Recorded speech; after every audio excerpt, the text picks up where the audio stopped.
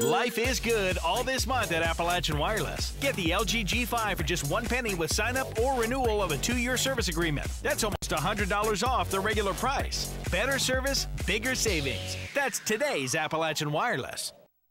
In an effort to help youngsters become more aware of healthy choices and to enable the community to live healthier lifestyles, the Williamson Health and Wellness Center has created the Photo Voice Project.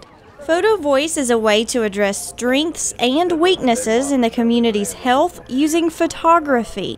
Through that, they're able to share with people in their community, with leaders in the community that can actually make real change um, issues that they've identified as being things that they care about. Children ages 14 through 18 at first will be given disposable cameras to use. Then, halfway through the project, organizers will utilize free photography apps on smartphones to hopefully get more creative.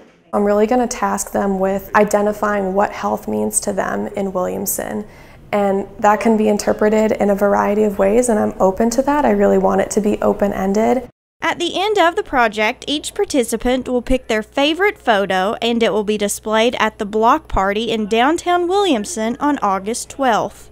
I want to have kids who are able to really think critically, um, have a little bit more maturity. Youth in Williamson are not necessarily going to be leaving anytime soon and can really have a stake in this issue and see it through maybe for next year if any changes happen because of the pictures. The project will start at the end of next week. For more information, contact Maria Clark by the means listed on your screen. In Williamson, Shelby Still, EKB News.